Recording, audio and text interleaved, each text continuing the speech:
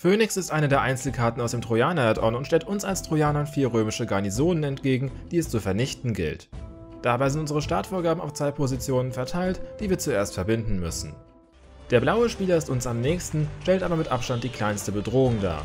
Theoretisch kann er nach 60 Minuten in den Angriff übergehen, tatsächlich dürfte er aber nur aktiv werden, wenn wir ihn angreifen. Es ist gut möglich, dass ihr Blau noch vor Ablauf der anderen Schonfristen erobern könnt. Das solltet ihr dann noch tun, da ihr im Süden seiner Siedlung weiteres Gold findet. Unter Umständen solltet ihr aber etwaige Türme im Westen stehen lassen, damit Lila nicht reinsiedelt. Falls ihr euch nicht sicher seid, solltet ihr aber die ersten Angriffe der anderen KIs abwarten. Grün ist am weitesten entfernt und wird ebenfalls lange nicht produzieren, da die KI auf dieser Karte die vorgegebenen Soldatenlimits halbwegs ernst nimmt und keinen zu großen Vorsprung zu euch aufbaut.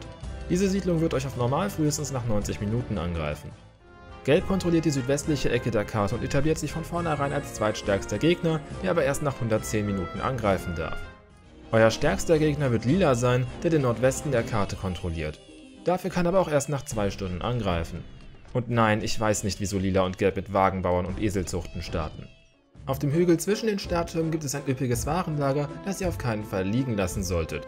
Das Gold reicht locker für die ersten Level 3er und einen großen Tempel, und allgemein kommt ihr mit diesen Waren dann locker auf oder über die Vorgaben, wie man sie aus HGHGs kennt. Kohle ist auf dieser Karte so ziemlich überall, wo kein anderer Rohstoff zu finden ist. Eisen muss man etwas mehr suchen, ist aber auch nicht schwer zu finden. Im westlichen Zipfel eures Startbergs findet ihr auch Stein. Gold ist als einziger Rohstoff relativ begrenzt, aber zwei bis drei Minen könnt ihr trotzdem von Anfang an unterbringen. Danach ist der Süden vom blauen Gebiet eine gute Adresse für mehr. Die einzige echte Schwierigkeit auf dieser Karte ist die Tatsache, dass ihr stark genug werden müsst, um eure Gegner nacheinander auszuschalten, ohne dabei eure Verteidigung vernachlässigen zu müssen. Zwei Mana-Produktionen reichen völlig, um euren Nahrungsbedarf zu decken, und ihr habt Zeit ohne Ende.